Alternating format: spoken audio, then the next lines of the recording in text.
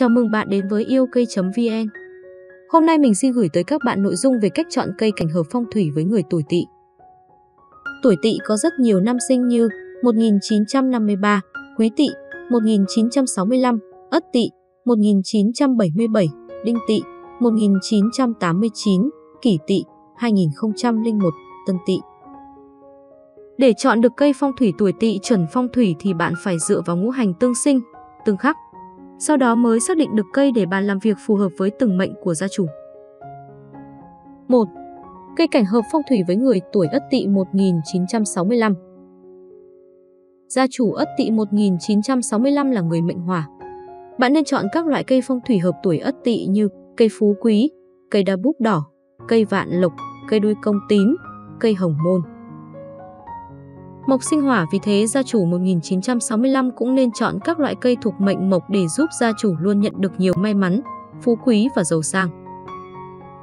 Bên cạnh đó, tuổi Ất Tỵ không nên chọn những loại cây thuộc mệnh thủy vì thủy khắc hỏa để tránh những điều không may mắn xảy ra trong cuộc sống. 2. Cây cảnh hợp phong thủy với người tuổi Đinh Tỵ 1977.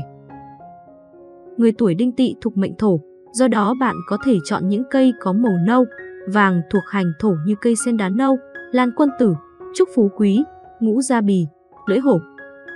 Đây là những cây thuộc hành thổ, sẽ mang lại may mắn cho gia chủ. Bạn cũng có thể chọn những cây có màu đỏ, hồng, cam, tím, cây thuộc hành hỏa vì hỏa sinh thổ.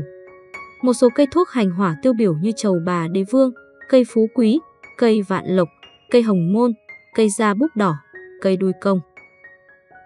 Ngoài ra, bạn cũng cần tránh xa những loại cây cảnh có màu trắng thuộc mệnh kim để tránh ảnh hưởng đến tài lộc cho bạn và gia đình bạn.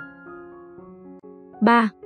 Cây cảnh hợp phong thủy với người tuổi kỷ tỵ 1989 Tuổi kỷ tỵ 1989 thuộc mệnh mộc, do đó cây phong thủy hợp tuổi kỷ tỵ nên chọn cây thuộc hành mộc như cây ngọc bích, cây cao tiểu trâm, cây vạn niên thanh, trường sinh, thiết mộc lan. Vì thủy sinh mộc, nên những người sinh năm 1989 cũng có thể lựa chọn các cây thuộc hành thủy để tăng vượng khí cho bản thân. Ngoài ra, bạn cũng cần tránh chọn mua cây cảnh màu trắng thuộc hành kim, kim khắc mộc hoặc màu đỏ, hồng, cam, tím thuộc hỏa, hỏa sẽ thiêu cháy cây, bất lợi cho người mệnh mộc khi làm ăn. 4. Cây cảnh hợp phong thủy với người tuổi Tân Tỵ 2001. Tuổi Tân Tỵ 2001 thuộc hành kim, những cây phong thủy hợp tuổi tân tỵ, cây bạch mã, cây kim tiền, cây kim ngân, cây hạnh phúc, cây lan ý. Theo ngũ hành tương sinh thì thổ sinh kim, vì vậy các cây thuộc hành thổ cũng sẽ rất hợp cho người tân tỵ trong công việc làm ăn. Ngoài ra, những người sinh năm 2001 tránh mua những cây thuộc hành hỏa vì hỏa khắc kim.